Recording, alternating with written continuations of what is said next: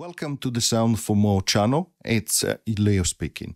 Today we are going to start the tutorials on Arturia pigments. Before I continue, I would like to remind my viewers to subscribe as it helps with growing the channel. Thank you very much.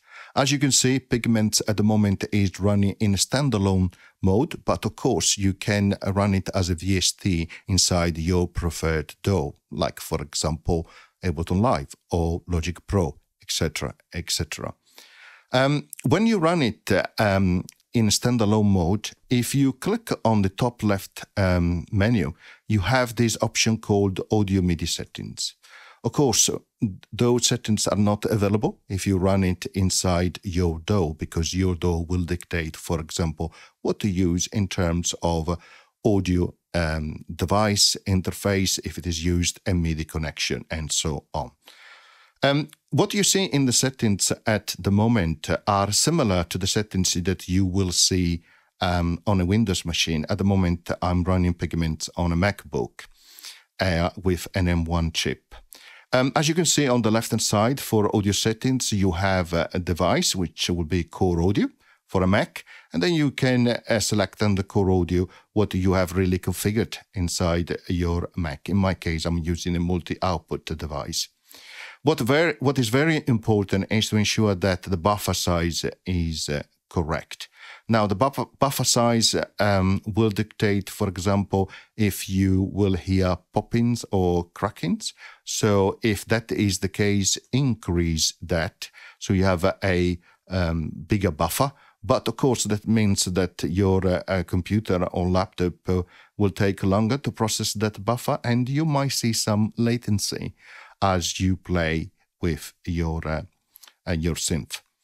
Um, so remember to to check that if you have uh, any problems, and uh, modern computers should be easily be able to handle 512 or below as well in terms of samples.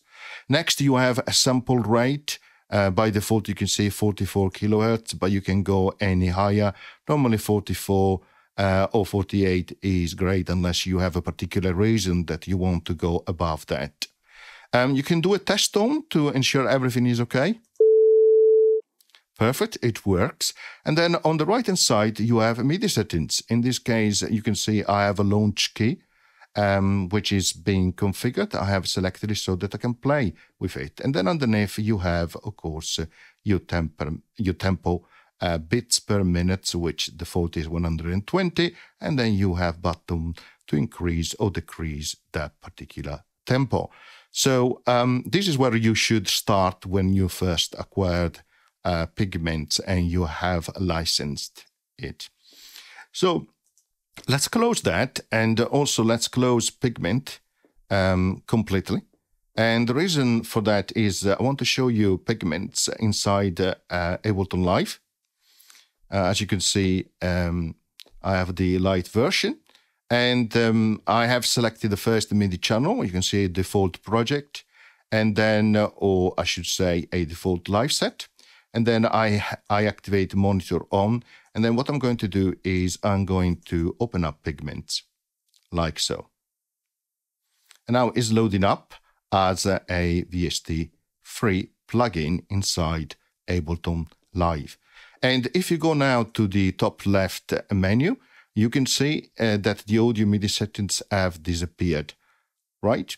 So you can't really um, um, use them or change them because you have to go through your DAW, in this case, Ableton Live. The other thing which is uh, quite important to um, kick off is to have the right size window and that is really dependent on your re resolution, what you are using. But if you say too small, increase it here under resize window, or decrease it if it is too large. Of course, depending on the hardware that you have available. Okay, next I'm going to uh, play a particular pad, and um, and I want to show you how how it sounds. So let's see if we can find it. Um, here we go and let's go for um, something like um, um,